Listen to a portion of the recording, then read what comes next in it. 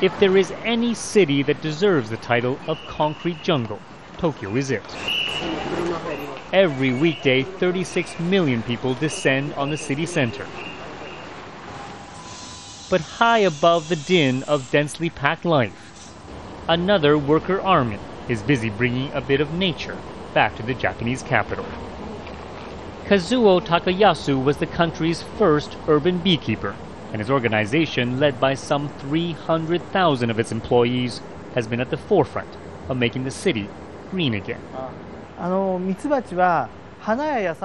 Honeybees pollinate flowers, allowing so many vital things in the city to grow.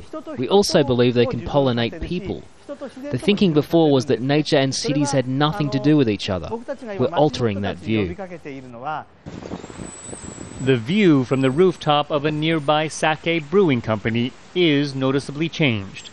Four years after its Tokyo vice president learned of the bee project, he put his employees to work. Today they harvest a variety of vegetables.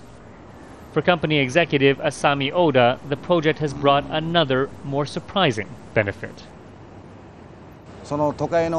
When I come here, the hustle and bustle of the city comes to a halt. It is so relaxing, and it eases all the stress. Still, there is a much more serious urgency to the greening of cities, one that is about life and death. Leading scientists believe the Earth is undergoing what they call a great extinction, caused specifically by human overdevelopment. And they warn that without more green spaces like this, the Earth's entire ecosystem could collapse. And so local authorities are mandating that all new buildings reserve areas for natural habitat.